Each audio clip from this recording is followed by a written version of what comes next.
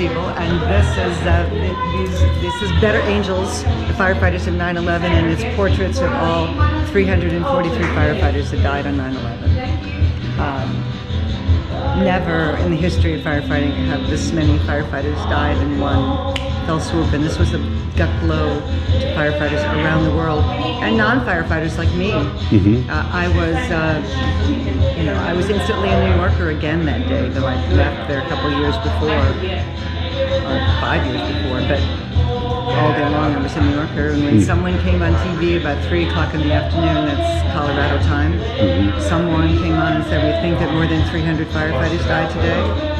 And that's when I sobbed. Mhm. I'd just been shocked, I'd been stunned, but I was, I just sobbed.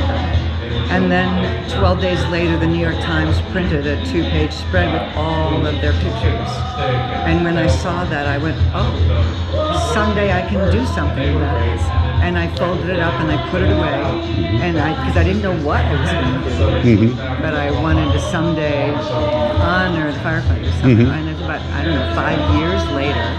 I went, oh, I'm going to paint them on burned blocks of wood. So you painted all of these. All of these. And I started with those terrible, terrible little pictures in the New York Times, you know, dot printed and all that. And Mhm. slowly I got better pictures along the way, and I also became a better painter along the way. And so most of them were repainted two or three times before it was done. How long did it take you to complete all of You know, once upon a time I computed about 3,000 hours for the painting and 3,000 hours for the business part, but then but then I repainted 88 of them after I had that 3,000 hour estimate, so Mhm. a lot of time. Yeah, yeah, that's a lot of time. Uh, So would, would you like to show us what? what some of them, well, I'll start with Yeah. the, with the, this is the chaplain.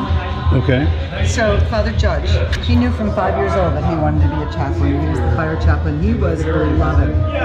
Um, and his death is at 0001. He was not the first to die. He was doing uh, last rites on people. When, when, so he was caught in the collapse and he was doing last rites.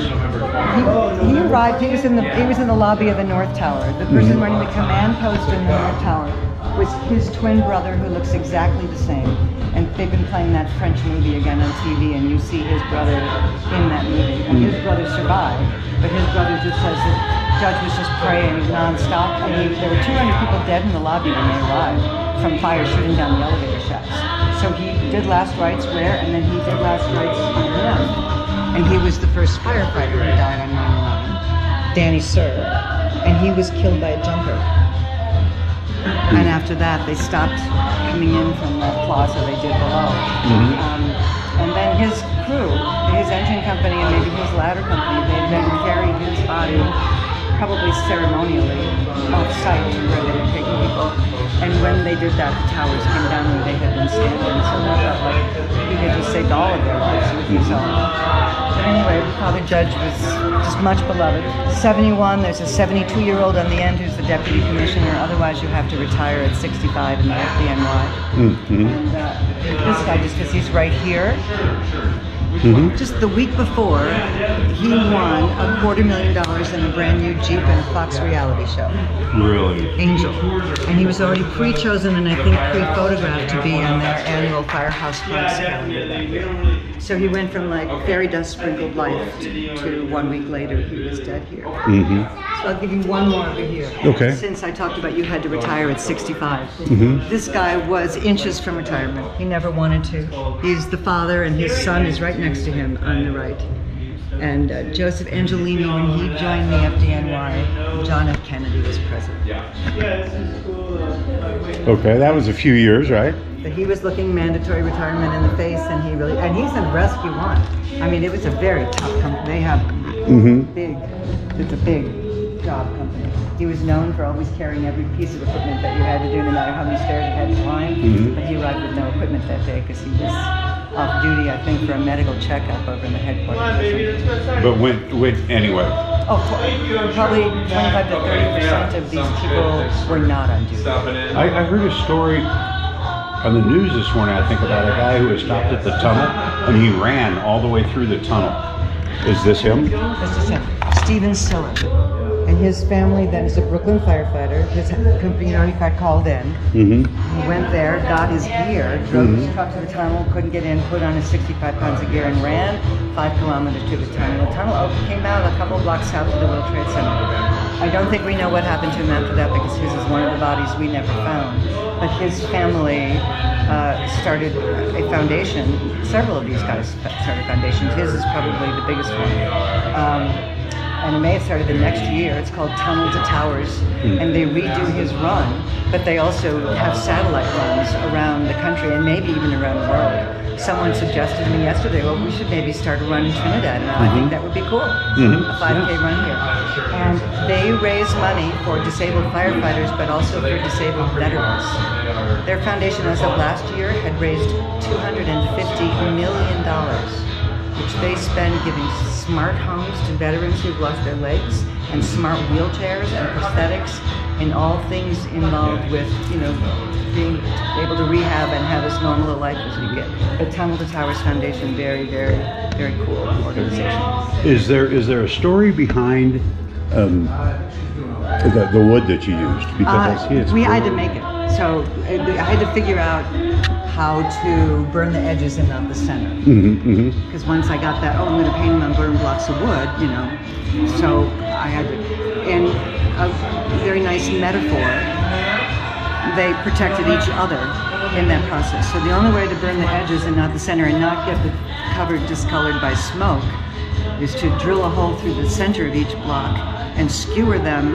I was going to put a painting there later so I could cover that hole up when it got mm-hmm. filled in, mm-hmm. but then skewer them on metal all thread rods. I put a washer between each one. I just remembered that washer detail the other day. Mm-hmm. Uh, and then I torqued them so they weren't all quite square. Oh, I and see. I had this kick-ass intern from CU Boulder, Rachel, and she did all the prep and she burned them and had a lot of fun doing that. We were at a friend's log yard in Boulder using his acetylene torch. Mm-hmm. And then all these other things had to happen. There was about 150 hours to prepare the wood before the painting could start. But the wood is the context. Mm-hmm. And the wood, the color that came out in the wood That's beautiful. is gorgeous, and the wood is very blonde to start with. It's very, you know, uninteresting looking. And it just, I used the wood I always use for painting, but it was the perfect choice, but I didn't know. what wood is that? It's a Baltic birch, so it's a mm-hmm. very high grade ply with very thin layers. Mm-hmm. That means that the wood burned in layers, and if I'd used a solid block of wood, it would have burned differently. Mm-hmm. So it just all, and the fire approached more than I thought originally, so the portraits also wound up smaller than I thought, but even that wound up perfect, I think. So all these serendipitous mm. things just sort of It's, it's almost cosmic. happened. It- well, it- yeah. and then I, in hundred paintings in, I'm like, I can't, this is way too big. I can't do this on my own. And who am I? I have no legitimacy within the fire community. I have nothing. But it was really too big for me to to pull it off. So I went, did my research, and went in search of a fire partner, and I mm-hmm. partnered with the National Fallen Firefighters Foundation. And we have no formal arrangement anymore, but we're still friends, and we still help each other. But they signed up with me, and we spent a year. They weren't didn't actually fund it, but together we tried to fi- find mm-hmm. funding, and we eventually got funding, and we had a 10 city tour. So, and again, how many are there?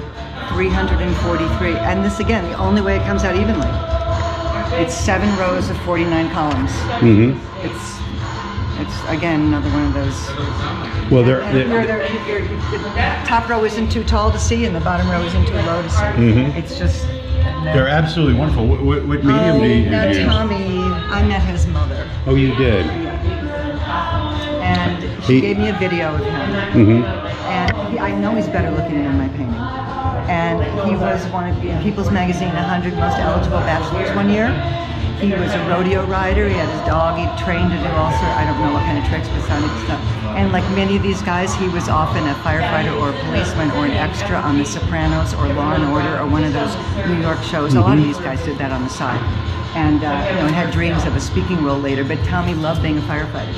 So this the story um, for him, I think his dad might have been retired FDNY too, and his brother was in the fire department. His dad promised the mother, "We're going to find Tommy and bring him home." So the brother is down working on the pile with everybody else, and the father is on top of Ten House, which is the fire station that's right there. It's an old two-story building, but it's right there. And he's up there for days with his high-res binoculars. And maybe around day four or day five, just looking through the smoke, he finds a Rescue 3 helmet. And he lets them know on the ground where he spotted the helmet. Mm-hmm. And they go there, but it can't go under. It's still too hot. They can't even lower a camera. They put a traffic cone on the spot. And when they can go back, that's where they find Tommy. Hmm. Hmm. He looks young. Yeah, um, and again, I don't think he's much more handsome than his picture. He's in his 30s, I think, but he lived Oh, a very full life. a Very Yeah. full life. I mean, the youngest is up there in the corner. He's 22, and I think there's a couple other 22 year olds Mm-hmm. here. Um, So, do you know the personal stories of all of these? no, no, no, no, no. And there's a few I remember, but Mhm. I, six or more years ago, I spent a couple of weeks researching all of them, whatever online things I could find, and what the mm-hmm. New York Times did, their stories that they had mm-hmm. done, and the National Fallen Firefighters Memorial page on their site, and and uh, and I wrote short anecdotal stories about all of them. And some of them I found very little information to write mm-hmm. anything. Um, but I needed to do that so that then I could have something to post every day. I'm not an automatic, and they're posted in order by company.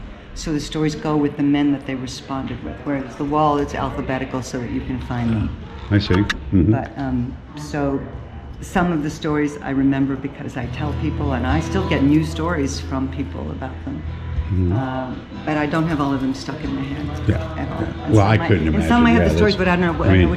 For instance, there's two guys on this wall, and I couldn't offhand tell you where, who they were. There's two guys on this wall, at least, who p- rescue people from burning buildings before they join the FDNY. Oh, really? Wow, that's interesting. I know. Mm. So, what, what, what did you? What medium did you? uh, Oil. Oil. Only black, white, and raw umber for the colors. hmm And I'm just going to throw in another statistic that I learned in writing up the stuff for here, but I think is really timely and important. So, where the planes hit, if you were above where the planes hit, you had almost no chance. There were four people that made it up from the South Tower because the gods were with them. Below that, of all the people in the building, fewer than, and not counting the first responders who ran in, but people who worked there, fewer than 120 didn't make it out. More than 13,000 people safely evacuated in 100 minutes. Wow. We don't normally think Right. about How many that. lives the It's not that counting these guys because Right. these guys were going in and they saved them one at a time and they saved them 20 at a time. Mm-hmm. And they, you know, this guy here and his, the guys he were with, they were right at the exit, standing in a row, moving. Mm-hmm. There's the exit right there. They are just moving the people hmm out of the building in front of them. You know, they just were holding their line. So, anyway, It's absolutely gorgeous, and I Thank thank, you. you. for doing it. thank you.